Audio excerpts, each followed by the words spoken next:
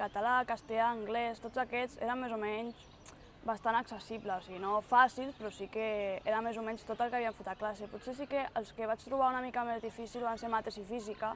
però clar, és que això depèn molt de com et, com et posin l'examen, de com t'hagin preparat a classe, però tot i així, si tu has anat estudiant cada dia i has anat fent tot el treball durant el curs, sí que al final només és més repàs que no pas tant estudiant, però sí que es nota que les últimes dues, tres setmanes van ser allà a estudiar tot el dia sense sortir de casa. Després de que l'any passat també va haver problemes a l'examen de mates perquè es van equivocar els anunciats, jo aquest any esperava que l'examen de mates fos una mica més fàcil, però una vegada estàvem allà fent l'examen jo sí que vaig veure que potser no, no era un examen per suspendre tothom, però sí que era un examen molt difícil per treure una bona nota. La gent s'està jugant al seu futur, qui necessita una nota baixa potser li, li, li és més igual, perquè diu, potser jo amb un 5 entro a la carrera, però aquell que necessita una nota alta, que et posi un examen molt, molt difícil, quan tu t'ho has estat preparant molt durant tot el curs,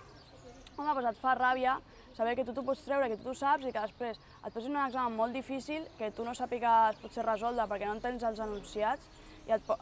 et poden fastidiar la selectivitat. Mai he tingut clar el que volia ser, no tant com la gent que diu ah, doncs jo vull ser metge o jo vull ser veterinari. Jo mai he, he sabut el que volia ser. Vull estudiar enginyeria física aquí a la, a la UPC i no sé, jo espero que dintre, quan acabem la carrera, dintre d'uns 4 anys i després si fem alguna cosa més, jo crec que ja el futur estarà molt millor i que podem trobar feina. M'esperen llargues hores a la biblioteca de la facultat i estudiant a casa, però, bueno, sent una cosa que t'agrada tampoc crec que hagi de ser tan sacrifici com, com fer altres coses.